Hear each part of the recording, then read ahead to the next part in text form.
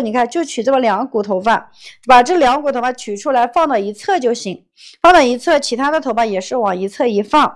然后接下来呢，我们这边的头发也是梳一下啊。皮筋是拍二号链接梳子送的一百根加粗加厚的防滑皮筋啊。我们梳子的皮筋是给他送了一百根的，你可以去拍我们的梳子。这里的头发呢，我们也是给它梳到一侧来，然后用上这种啊不吃头发、不粘头发的皮筋，然后把这个头发也是扎在跟耳朵平齐的位置，你不要扎的太上，也不要扎的太下，你看就跟耳朵平齐这个位置啊。现在我后面的头发就是比较简单的，就这么扎了一下。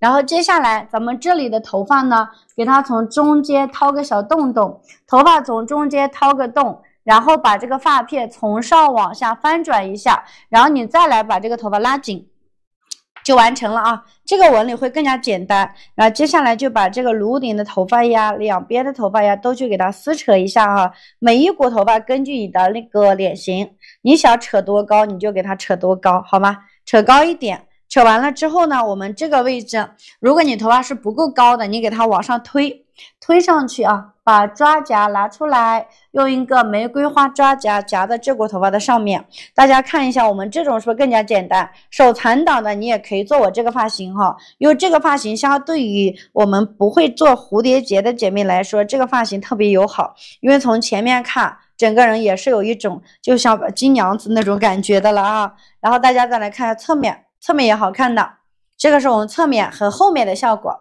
后脑勺是不是也好看啊？对吧？这个就是放在一侧的一个效果啊。你也可以放在两边。如果我们喜欢就是更加低调的，你就只要放两边，或者说是我们这样把头发放到一侧，放到一侧之后，这里的头发咱们给它编上一个三股麻花辫啊。下面的头发你编一个三股麻花辫，三股麻花辫稍微编松一点，不要编得太紧，因为编得太紧的话呢，就会显得发量很少了。发量少怎么办？发量少照样扎呀，头顶头发随便取个一半就可以了啊，头顶的头发取一半就可以了，没有那么难。而且你发量少，你这种发型都是不调发量的，就像你扎马尾一样，真的是不调发量的啊。